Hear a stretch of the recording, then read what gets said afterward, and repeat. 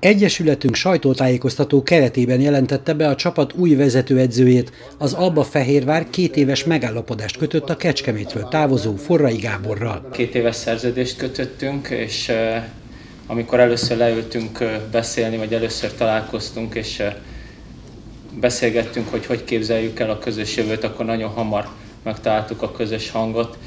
Gábort azért már régóta ismerjük, hiszen nagyon régóta benne van a magyar kosárlabdában fiatalkora ellenére.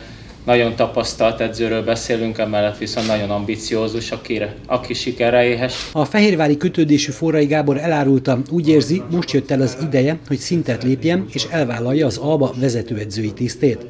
Emellett egy személyes motiváció is közrejátszott döntésében. Nagyon nagy megtiszteltetés és, és azt gondolom, hogy ez gyúttal ez egy nagyon nagy felelősség is, hogy, hogy a vezetőség nekem szavazott bizalmat.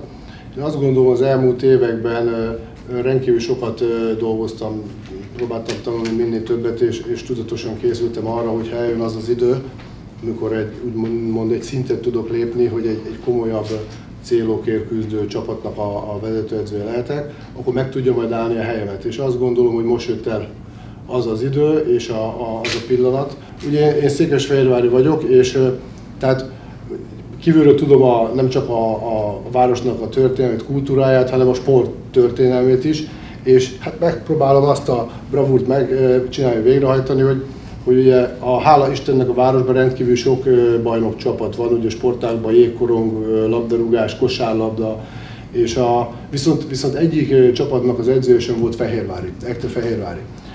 Tehát megpróbálom, hogy, hogy ha esetleg sikerülne, már pedig ez a cél, ezért váltottam, hogy ez teljesüljön. Nyilván ez most nem biztos, hogy ebbe a szezonba, de mindent megteszünk érte, hogy, hogy már most is harcba szálljunk. Tudatosan felépíteni egy olyan csapatot, amely stabil résztvevője lenne valamelyik nemzetközi kupának, jövőben, és nyilván minden évben azért küzdjön, hogy valamelyik éremér vagy a bajnoki cím. Csapatunk az új vezetőedző kinevezése után tovább folytatja a következő szezon játékos keretének kialakítását.